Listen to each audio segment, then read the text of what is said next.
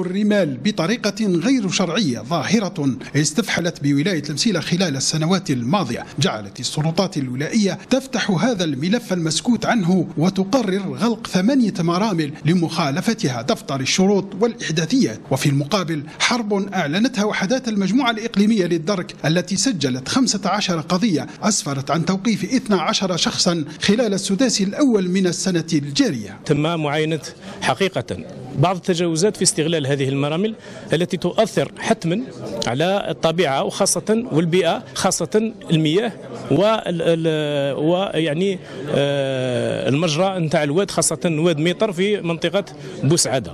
آه، هذه آه، في خمسة أشهر عالجنا العديد من القضايا والتي آلت بإنهاء يعني بإصدار السيد الولي لقرارات إنهاء استغلال إنهاء قرارات استغلال هذه المرامل أو تعليقها في بعض الأحيان والذي والتي تجاوزت ثمان مرامل من بداية من جونفي حتى الشهر شهر جوان.